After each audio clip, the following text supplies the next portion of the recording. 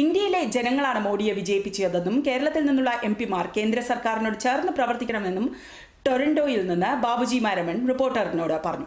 കേരളത്തിന്റെ കലാ സാംസ്കാരിക സാമൂഹ്യ മേഖലകളിൽ വ്യക്തിമുദ്ര പതിപ്പിച്ചിട്ടുള്ളതും ടൊറന്റോ മലയാളികൾക്ക് ഏറെ സുപരിചിതനുമായ ശ്രീ ബാബുജി മാരാമൺ അദ്ദേഹം നമ്മളോട് സംസാരിക്കും.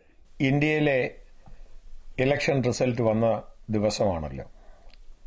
ആദ്യമായിട്ട് ആ നരേന്ദ്രമോദി ലോകം അംഗീകരിച്ച ഒരു നേതാവായ നരേന്ദ്രമോദി വീണ്ടും ഇന്ത്യയുടെ പ്രൈം മിനിസ്റ്ററായിട്ട് ഇന്ത്യയെ ഭരിക്കാൻ ഇന്ത്യൻ ജനതയെ ഭരിക്കാൻ വരുന്നതിൽ അദ്ദേഹത്തിന് എല്ലാ ആശംസകളും എന്റെ സ്വന്തം പേരിലും. ടൊറന്റോയിലുള്ള മലയാളികളുടെ സമൂഹത്തിന്റെ പേരിലും ഞാൻ ആദ്യമായി നേരുകയാണ്. കാരണം ഒരു പ്രാവശ്യം കൂടെ നരേന്ദ്രമോദി ഇന്ത്യയെ ഭരിച്ചാൽ കുറേ മാറ്റങ്ങൾ വരുമെന്നുള്ളത് എന്റെ സ്വന്തമായ അഭിപ്രായമാണ്. കാരണം നല്ല രീതിയിൽ ഇന്ത്യയെ മുന്നോട്ട് നയിക്കാൻ നരേന്ദ്രമോദിക്ക് കഴിയുമെന്ന് ഞാൻ പൂർണമായി വിശ്വസിക്കുന്ന ഒരാളാണ്. കാരണം നമ്മൾ പലപ്പോഴും കേരളത്തുകാരെ സംബന്ധിച്ചിടത്തോളം അല്ലെങ്കിൽ സൗത്ത് ഇന്ത്യനെ സംബന്ധിച്ചിടത്തോളം നാം പറയുമ്പോൾ ഒരു കാര്യം നാം മനസ്സിലാക്കണം. സൗത്ത് ഇന്ത്യൻസ് വളരെ വിദ്യാഭ്യാസത്തിൽ മുൻനിരയിൽ നിൽക്കുന്നവരാണ്. പലപ്പോഴും കേരളത്തിൽ ഭരിക്കുന്ന ജയിക്കുന്ന പാർട്ടി കേന്ദ്രത്തിനെതിരായിട്ടുള്ള പാർട്ടിയായിരിക്കും സാധാരണ കേരളത്തിൽ ജയിക്കുന്നത്. അതുകൊണ്ട് നമ്മൾ ഇന്ത്യയുടെ ഭരണം കേരളത്തിലോ സൗത്ത് ഇന്ത്യയിലോ ആണെന്ന് നമ്മൾ ചിന്തിക്കുന്നുണ്ടെങ്കിൽ അതും തെറ്റാണ്. എന്നാൽ എന്താണ് സംഭവിച്ചതെന്ന് നാം ചിന്തിക്കുമ്പോൾ ഇന്ത്യയിലെ ജനത ഭാരതീയ ജനതാ പാർട്ടിയെ സപ്പോർട്ട് ചെയ്തു എന്നുള്ളതാണ് നാം ഇപ്പോൾ കണ്ടത്. അതുകൊണ്ടാണ് ഇത്രയും വൻപിച്ച വിജയത്തിൽ നരേന്ദ്രമോദി സർക്കാർ വീണ്ടും അധികാരത്തിൽ വരുന്നത്.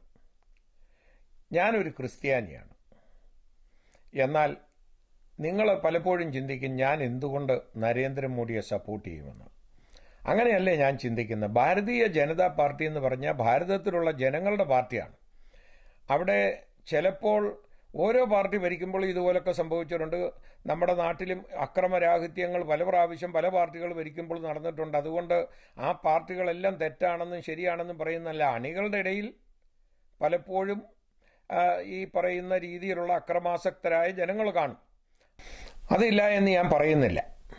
എന്നാൽ നാം മനസ്സിലാക്കേണ്ട ഒരു കാര്യം ആ ചെറിയ ചെറിയ സംഭവങ്ങളെ വെച്ചിട്ട് ഇന്ത്യയെ കാണരുത്. ആ ചെറിയ സംഭവങ്ങളല്ല ഭാരതീയ ജനതാ പാർട്ടി എന്ന് പറയുന്നത്. നമ്മൾ കാണേണ്ട നരേന്ദ്രമോദി ഇന്ത്യയുടെ പ്രൈം മിനിസ്റ്ററാണ്. അത് ഓരോ ഇന്ത്യക്കാരന്റെയും പ്രൈം മിനിസ്റ്ററായിട്ട് ഇനിയും അദ്ദേഹത്തെ സപ്പോർട്ട് ചെയ്ത് നമുക്ക് എങ്ങനെ ഇന്ത്യയിൽ കൂടുതൽ നല്ല കാര്യങ്ങൾ സാമ്പത്തിക അഭിവൃദ്ധി ഉണ്ടാക്കാം മറ്റുള്ളവർക്ക് ഗുണമുണ്ടാക്കാം ന്യൂനപക്ഷങ്ങൾക്ക് എന്ത് നന്മ ചെയ്യാൻ കഴിയും എന്നുള്ളതിനെക്കുറിച്ച് നമുക്ക് നരേന്ദ്രമോദിയുമായിട്ട് സംസാരിക്കാനും ആ സർക്കാരുമായി സംസാരിക്കാനും ഇപ്പോൾ കേരളത്തിൽ നിന്ന് പതിനെട്ട് പത്തൊൻപത് എം എൽ എ എം പിമാരെ ഉണ്ടായിട്ടുണ്ട്. അവർക്ക് അവിടെ ചെന്നിട്ട് ഈ രീതിയിൽ പ്രവർത്തിക്കാമെങ്കിൽ കേരളത്തിനും നന്മയുണ്ടാകും ഇന്ത്യയ്ക്ക് നന്മയുണ്ടാകും. അങ്ങനെയുള്ള രീതിയിൽ നാം ചിന്തിക്കണം. അതല്ലാതെ വെറുതെ അതൊരു ഹിന്ദു വർഗീയ പാർട്ടിയാണ് ഇന്ത്യ ഭരിക്കുന്നത് എന്ന് പറഞ്ഞ് ഇനിയും അഞ്ച് കൊല്ലം നമ്മൾ വഴക്കുണ്ടാക്കി മുന്നോട്ട് പോയാൽ ഇന്ത്യയ്ക്ക് ഒരു ഗുണവും ഉണ്ടാകാൻ പോകുന്നില്ല. ഇന്ത്യയെ നശിപ്പിക്കാമെന്നേ ഉള്ളൂ. ഇന്ത്യൻ ജനത നശിച്ചു പോകുമെന്നേ ഉള്ളൂ. അതിനുള്ള കാരണം നാം ഉണ്ടാക്കരുത്. ഒരുമിച്ച് എല്ലാവരും കൂടെ കൂടി ചേർന്ന് നല്ല ഒരു ഭരണം കാഴ്ചവെക്കാൻ നരേന്ദ്രമോദി സർക്കാരിനെ സഹായിക്കണമെന്നാണ് ഞാൻ പറയാനുള്ളത് എനിക്ക് പറയാനുള്ളത്. പക്ഷെ ഒരു കാര്യം ഞാൻ എപ്പോഴും പറയും ഈ വിജയത്തിൽ ഞാൻ സന്തോഷിക്കുന്നു. കാരണം കോൺഗ്രസ് അനേക വർഷം ഇന്ത്യ ഭരിച്ചതാണ്.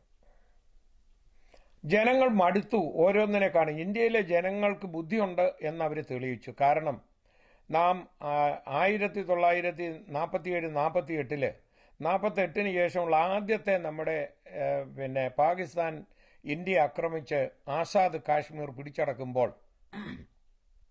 അന്ന് യുദ്ധം ചെയ്ത് അവരെ തോൽപ്പിക്കുന്നതിന് പകരം നെഹ്റു യു എനിൽ പോവുകയും റെസൊല്യൂഷൻ യു എൻ ഇന്ത്യയ്ക്ക് എതിരെ പാസാക്കുകയും ചെയ്ത് ആസാദ് കാശ്മീർ പോയ ചരിത്രമാണുള്ളത്. ആ ചരിത്രങ്ങളിലേക്കൊന്നും പോകാൻ ഞാൻ ആഗ്രഹിക്കുന്നില്ല. ഇതെല്ലാ ഇന്ത്യക്കാരനും അറിയാം. എന്നാൽ എല്ലാ പാർട്ടിയും അവരുടെ കാര്യം ശരിയാണെന്ന് പറയുന്നതിനും അവർ പറഞ്ഞതാണ് ശരിയെന്ന് സ്ഥാപിക്കാനും അവർ ശ്രമിക്കുന്നുണ്ട്. അതല്ല നാം നോക്കേണ്ടത്. വിദ്യാഭ്യാസം എന്ന് പറയുന്നതും വിവരമെന്ന് പറയുന്നതും രണ്ടും രണ്ട് കാര്യമാണ്. ഒന്ന് ജ്ഞാനം രണ്ട് അറിവ്. നമ്മൾ അറിവുള്ളവരാണ്.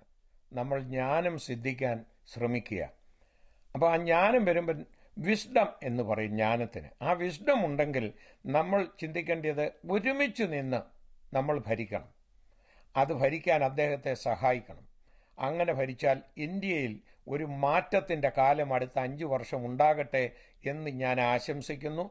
നരേന്ദ്രമോദി സർക്കാരിന് എല്ലാ ഭാവുകങ്ങളും ആശംസകളും നേരുന്നു. നന്ദി നമസ്കാരം.